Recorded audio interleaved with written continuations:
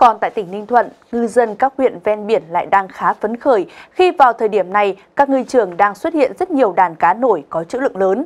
Vươn khơi bám biển, khai thác hải sản, nhiều ngư dân đang trúng đậm, lãi hàng chục triệu đồng. Ghi nhận sau đây tại bến cá Mỹ Tân, xã Thanh Hải, huyện Ninh Hải.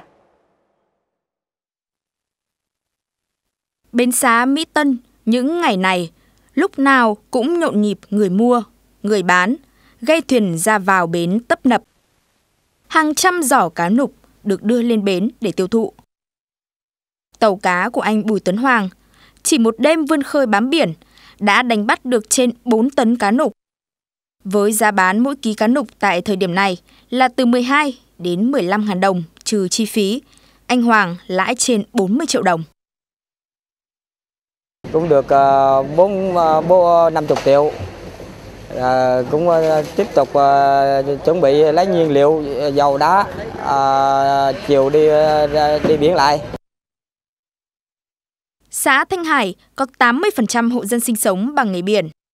Từ đầu năm đến nay, do biển động, ngư trường không thuận lợi nên việc khai thác hải sản không đạt sản lượng. Khoảng 3 ngày nay, có nhiều đàn cá, chủ yếu là cá nục xuất hiện dày, nên ngư dân khẩn trương vươn khơi, tranh thủ khai thác hải sản trong thời điểm này. Ba ngày gần đây thì trên địa bàn xã thì xuất hiện một đàn cá nục. Thì à, với tình hình này thì bà con hết sức phấn khởi. Nói chung là trong ba ngày nay là tất cả các đoàn tàu của, của xã Thanh Hải đều ra khơi.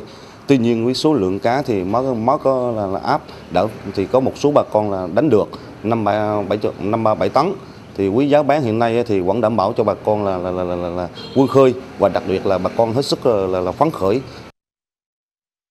Được biết, trong tháng 2, sản lượng hải sản khai thác trên 5.400 tấn, tăng hơn 2 lần so với cùng kỳ năm trước.